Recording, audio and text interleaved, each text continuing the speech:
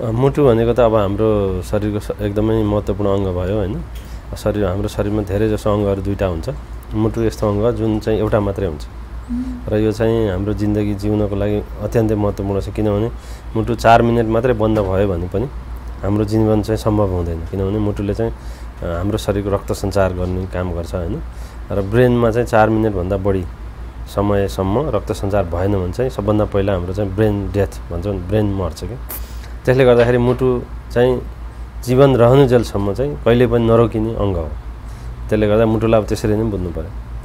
यो सम्बन्धी समस्याहरू के के पाउनुहुन्छ मुटुको रोगहरू चाहिँ लाई समग्रमा चाहिँ दुई किसिमले विभाजन गर्न सकिन्छ होइन? एउटा चाहिँ जन्मजात मुटु रोग जुन चाहिँ मान्छे जन्मिँदैखेरि कुनै न कुनै मुटु रोग लिएर आउने भयो होइन? र अर्को चाहिँ जीवन जिउँदै जाँदा हुने वयस्क मुटु रोग। होइन? अब जन्मजात मुटु रोगहरू धेरै किसिमका छन्। सामान्य खालकादेखि लिएर एकदमै जटिल खालकासम्म जन्मजात मुटु रोगहरू हुन्छन्।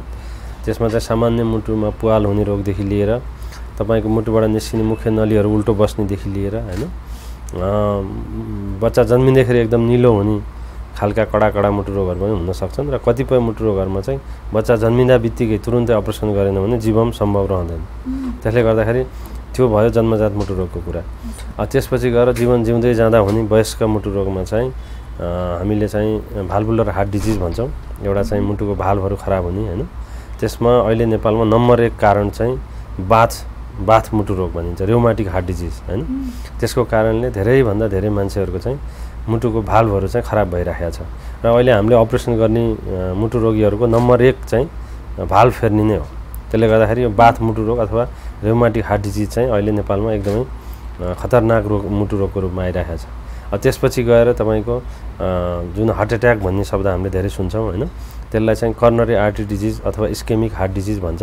त्यसमा चाहिँ विशेष गरी मुटुको मुटुलाई रक्त सप्लाई गर्ने भनौँ न रक्त सञ्चार गर्ने नलीहरूमा कुनै पनि कारणले अवरोध आएको खण्डमा मुटुको कुनै पनि भागको मांसपेशीको मृत्यु हुनसक्छ त्यसैलाई नै हार्ट एट्याक भनिन्छ।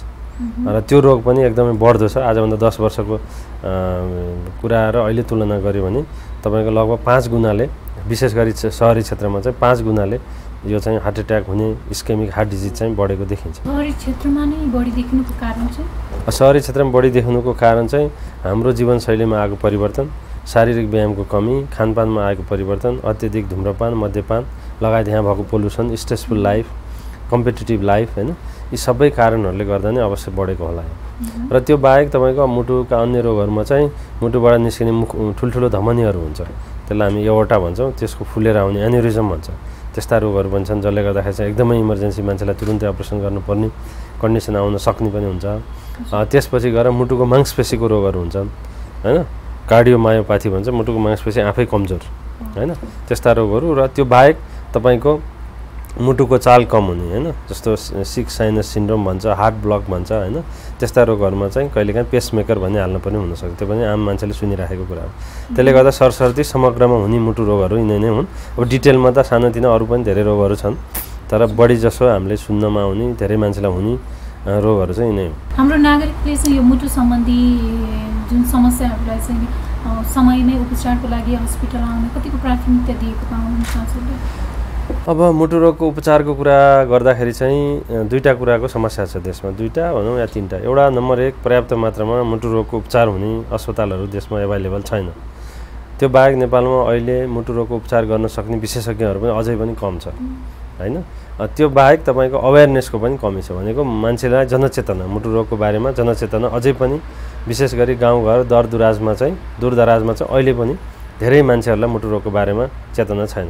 त्यसले गर्दा यी तिनवटा कारणले गर्दा आजको दिनमा नेपालमा मुटु रोगको उपचार त्यति सहज चाहिँ पाइँदैन।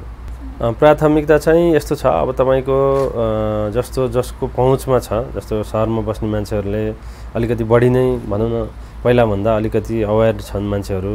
त्यसपछि अब घरमा कसैको भनौँ न आफ्नो परिवारमा कोही मुटु रोगी थियो पहिला भने उनीहरू अलिक बढी कन्सियस छन् होइन? त्यसपछि गएर अलिकति पढे लेखेको फ्यामिली होइन? उनीहरू चाहिँ अलिकति देखिन्छ। तर अब यहाँ हेर्दाखेरि चाहिँ दिन प्रतिदिन मुटु रोगीहरू बढेको देखिन्छ। त्यसको मतलब चाहिँ मान्छेमा अलिकति अवेरनेस जस्तो भनौँ हाम्रो यहीँ मनमोहन सेन्टरमा पाँच वर्ष अगाडिको र अहिले हेऱ्यो भने ओपिडी भन्छ हामी आउट पेसेन्ट डिपार्टमेन्ट त्यो जुन टिकट काट्ने ठाउँ हुन्छ नि त्यहाँ चाहिँ पेसेन्ट फ्लो चाहिँ म्याक्सिमम् बढाएको छ। अब यसले पनि के देखाउँछ भने मान्छे रोगी मात्रै नबढेर मान्छेमा एउटा अवेरनेस पनि चेतना पनि जागेको छ भन्ने चाहिँ देखिन्छ। तर पनि अझै पनि यो चेतना अझ धेरै जाग्नुपर्ने आवश्यक देखिन्छ र प्लस धेरै जसो मान्छेहरूको अझै पनि मुटु सम्बन्धी स्क्रिनिङहरू होइन? कसैलाई मुटु रोग लागेको छ कि छैन भनेर हेर्ने कुरा चाहिँ अझै पनि सहज छैन अहिले। त्यसले गर्दाखेरि त्यो सहज भयो भने अवश्य पनि मान्छे भनौँ न अलिकति चेतना फैलिने अथवा चाहिँ मान्छे सहज रूपमा अस्पताल आउने मुटुको जाँच गराउने चाहिँ अवश्य पनि बढ्छ जस्तो लाग्छ मलाई। कस्ता व्यक्तिहरूमा चाहिँ मुटु सम्बन्धी बढी समस्याहरू देखिन्छन् होला के त्यस्तो सम्भावनाहरू हुन्छ? अब कस्तो व्यक्ति भन्दा पनि अब जन्मजात मुटु रोग विशेष गरी वंशानुगत हुनसक्छ एउटा होइन? अब कुनै पनि फ्यामिलीमा मुटुको जन्मजात मुटु रोग थियो भने चाहिँ त्यो फ्यामिलीबाट जन्मिने बच्चामा हुन सक्ने सम्भावना रहने भयो। त्यसपछि गएर अब प्रेग्नेन्ट महिला ले चाहिँ धुम्रपान बढी गर्ने मद्यपान बढी गर्ने माल न्युट्रिसन भन्छ यो के भन्छ आहार विहारको कमी भनौँ न विशेष गरी दुर्गम जिल्लाहरूमा त्यस्तो आमबाट जन्मिने बच्चाहरूमा चाहिने जन्मजात मुटु रोग हुन सक्ने भयो। त्यसपछि गएर तपाईँको गर्भवती महिलालाई कुनै ठुलो रोग लायो होइन उनीहरूले चाहिँ कडा औषधिहरू प्रयोग गर्नुपर्ने अवस्था आयो भने त्यस्तोबाट जन्मिन सक्ने भयो। अथवा कुनै कडा औषधि सेवन गरिराखेको विभिन्न रोगको कारणले त्यस्तो महिलाबाट जन्मिने बच्चाहरूमा चाहिँ हुन सक्ने भयो। त्यस्तै गरी चाहिँ एउटा चाहिँ पैँतिस वर्षभन्दा माथिको आमाबाट बच्चा जन्मिँदाखेरि चाहिँ मुटुको रोग अथवा जन्मजात मुटु रोग हुने सम्भावना डाउन सिन्ड्रोम भन्छौँ हामी। डाउन सिन्ड्रोम हुने सम्भावना चाहिँ बढिरहन्छ। अब त्यो भयो कसरी कस्तालाई कस्ता मान्छेलाई हुनसक्छ एउटा चाहिँ फ्यामिली ब्याकग्राउन्ड होइन? वंशानुगत इतिहास हिस्ट्री छ भने चाहिँ त्यस्तो परिवारमा नयाँ सदस्य आउँदाखेरि मुटु रोग हुन सक्ने सम्भावना।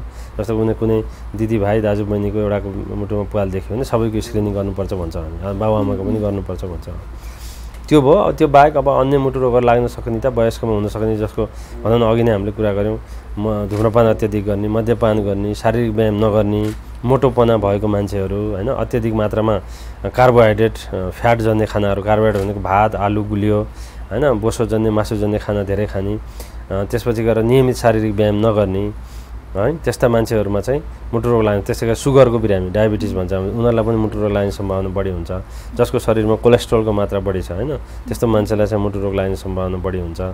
र जसको लाइफ एकदमै स्ट्रेसफुल छ जो चाहिँ सधैँ चिन्तामा हुन्छ होइन? अथवा विभिन्न कारणले चाहिँ मान्छेको लाइफ स्ट्रेसफुल छ त्यस्तो मान्छेलाई पनि मुटु रोग लाग्ने सम्भावना चाहिँ बढेर जान्छ।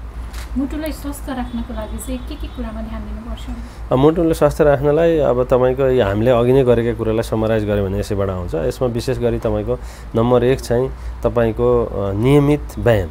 मुटुको लागि एकदमै इम्पोर्टेन्ट कुरा चाहिँ तपाईँले नियमित शारीरिक व्यायाम गर्न चाहिँ जरुरी छ। जति भ्याउनुहुन्छ दिनमा एटलिस्ट आधी घन्टा भए पनि पसिना आउने गरी कुनै न कुनै एक्सर्साइज अथवा फिजिकल एक्टिभिटिज गर्नु पऱ्यो अ, त्यो बाहेक तपाईँको शरीरको तौललाई नियन्त्रणमा राख्नु पऱ्यो धेरै मोटो मान्छेलाई पनि मुटु रोग लाग्ने सम्भावना रहन्छ। विशेष गरी पेट निस्केको मान्छेहरू होइन?